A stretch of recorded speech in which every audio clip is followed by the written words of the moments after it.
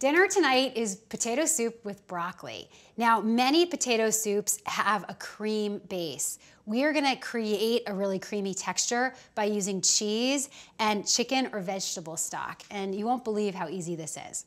So first of all, you need potatoes. I have two skinned potatoes and they're cubed.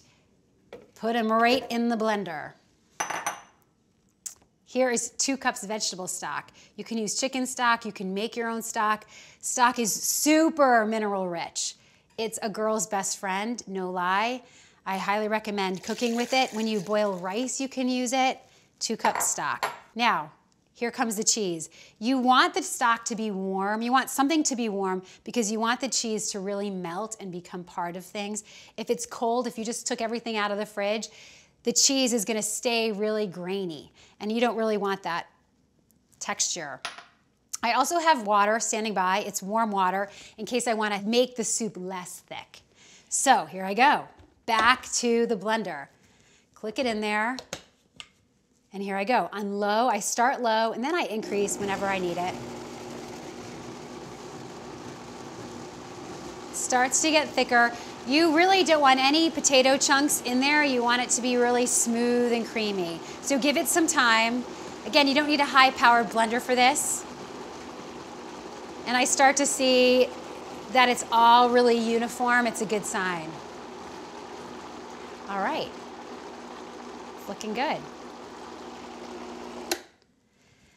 Potatoes get a, a, bad rap for being quote unquote fattening, but they're actually really high in vitamin C and potassium. They're not bad for you. And very few people are allergic to potatoes, which is such a relief.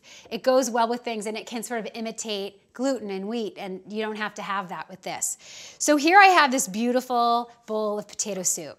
Now, the broccoli comes in, and this is where it's unique. A lot of times, the broccoli is pureed with the soup. A lot of times, the broccoli is steamed. I want you to have raw food at every meal, just so you have enzymes. When you have raw food, you basically have these healthy probiotics every time you're eating something, and it does help you with digestion.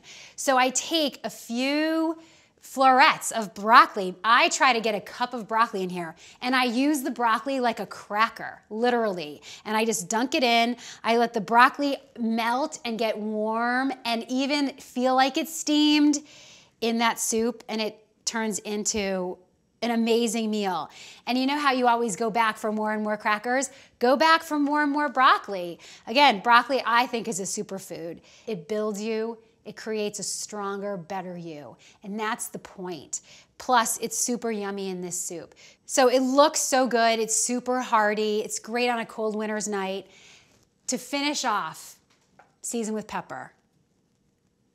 To your liking, I like a lot of pepper. Pepper adds a lot of flavor without any calories or anything really detrimental to your body, which is really nice. It also helps your circulation. Now, when you look back on your whole day, you started off with the breakfast taco. Really nice zinc levels, protein. Again, no gluten in that meal. Such a good way to start your day. Then you had the cucumber orzo salad. Really hearty, lots of hydration, plenty of protein with the pine nuts. Then the beet chips as a nice snack idea. Mineral rich, iron rich, lots of phosphorus, so good. Then you finish off with the potato and broccoli soup. It's a really healthy way to eat. It's really great to step back and see your day like this. So instead of saying, I'm gluten free or I eat only protein and no carbs, instead think what's livable what creates a really happy life and a sustainable life. You want to always enjoy your food, but you want it to really feed you.